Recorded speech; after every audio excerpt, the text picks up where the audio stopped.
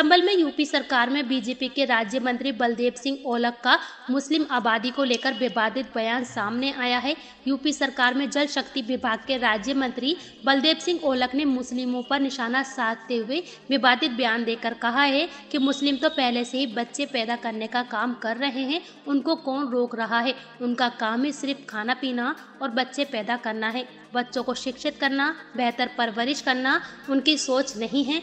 उत्तर प्रदेश में राज्य मंत्री बलदेव सिंह ओलख ने संबल में पत्रकारों से बातचीत के दौरान विवादित बयान देते हुए मुस्लिम आबादी को लेकर और मुस्लिमों के नेताओं पर जमकर बरसे बीजेपी के राज्य मंत्री ने मुस्लिमों पर निशाना साधते हुए कहा कि मुस्लिम समाज के लोग पहले से ही सिर्फ़ बच्चे पैदा करने का काम कर रहे हैं, उनको कौन रोक सकता है? इनका काम खाना पीना और सिर्फ़ बच्चे पैदा करना है, बच्चों को शिक्षित करना या उनकी बेहतर परवरिश करना, इनकी सोच नहीं है। लेकिन इसके बावजूद भाजपा सरकार बिना किसी भेदभाव के हर समाज के बच्चों को शिक्षित करने का और आगे बढ़ाने का काम कर रही है। राज्य मंत्री बलदेव सिंह ने सरकार द्वारा लड़कियों की शादी की उम्र 18 वर्ष से बढ़ाकर 21 वर्ष किए जाने का विरोध करने पर समाजवादी पार्टी पर भी जमकर निशाना साधा।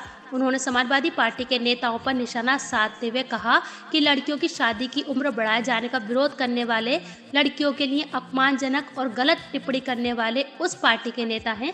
जिस पार्टी के मुखिया मुलायम सिंह रेप के मामले में यह बयान देते हैं कि बच्चे हैं, बच्चों से गलती हो जाती है। समाजवादी पार्टी के सांसद शफीकुर रहमान वर्क जैसे नेता कभी भारत माँ को डायन कहकर देशद्रोही बयान देते हैं तो कभी महिलाओं और लड़कियों के लिए अपमानजनक टिप्पणी करते हैं। उस समय वो भूल जाते हैं कि उनकी भी बहन बेटियाँ हैं। दरअसल वो ओबीसी की पार्टी के नेता के उस वीडियो पर पूछे गए सवाल का जवाब दे रहे थे जिसमें कहा जा रहा था कि मुस्लिमों को ज़्यादा बच्चे पैदा करने हैं तभी वो ओबीसी को प्रधानमंत्री बना सकते हैं।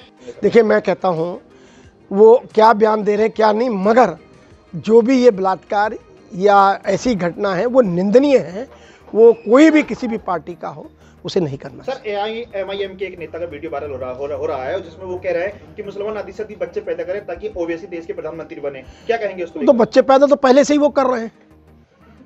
उनको रोक कौन रहा है? उनका खाना पीना और उसके बाद बच्चे पैदा करना। उनकी सोच नहीं है कि, कि हमारे बच्चे की अच्छी जगह पढ़े। उनकी सोच नहीं कि हमारे बच्चे तरक्की करें। उनकी सोच नहीं है कि हमारी बच्चियाँ बेहतर किसी जगह पे। मगर योगी जी के नेतृत्व में मोदी जी के नेतृत्व में जो सरकारें आई हैं उन्होंने बिना भेदभाव के सब बच्चियों को पढ़ाने का काम किया बच्चों को पढ़ाने का काम किया उन्हें ट्रेनिंग देने का काम किया। फ्री उन्हें कोचिंग देने का जो काम किया है कि बच्चे कहीं पढ़ लिख कर अच्छा नौकरी करे अच्छी अपनी तरक्की करे देश में भागीदारी यूपी विधानसभा चुनाव आ रहे हैं उसको लेकर क्या कुछ कहना चाहेंगे सर? देखिए 2022 का जो चुनाव है माननीय योगी जी के नेतृत्व में चुनाव लड़ा जा रहा है और मैं ये कहना चाहता हूँ पूर्ण बहुमत के साथ जो जनता ने जनता को सीधा सीधा जमीनी स्तर पर लाभ मिला है और 2022 में भारतीय जनता पार्टी का परचम लहराने वाला है और पहले दो 325 थी मुझे लगता है 400 के करीब ना हो जाए ये मैं कह विपक्ष का कहना है कि जो मोदी की और योगी की रैली चाहे मुलायम सिंह हो या शफीक और वर्क हो मुलायम सिंह जी कहते हैं कि लड़कों से गलती हो जाती है किसी भी बहन बेटी का रेप हो जाता है बलात्कार हो जाता है तो ऐसे पार्टियों के जो नेता हैं वो कहते हैं कि बच्चों से गलती हो जाती है।